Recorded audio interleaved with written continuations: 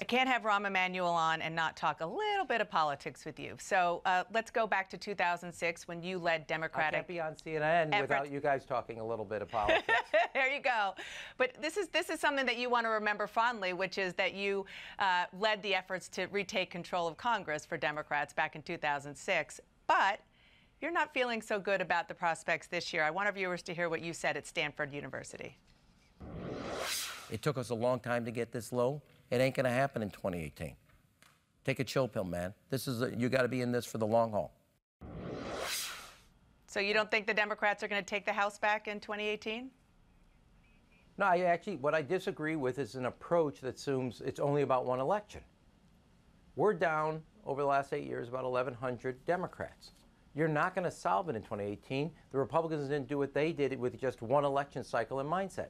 You have to have a long horizon, obviously, uh, and work towards that, electing people at the local level, state houses, into Congress. Now, your question is only because you're in nationally, is only about Congress. But the question is, what are we doing about state houses? What are we doing to recruit candidates to run for uh, uh, other types of office at a local level? And my point was, and uh, and I stand by it, is if you think this is going to happen in, in entirely in just one cycle, you're going to turn around the uh, years of eroding Democratic uh, support at the local level. You're not having the right perspective. Mm-hmm. I, do I think we're going to have a, a good year in 2018? Yes. Do I think everything's going to be solved in a single cycle? That's not how we got here, and it's not going to be how we get out.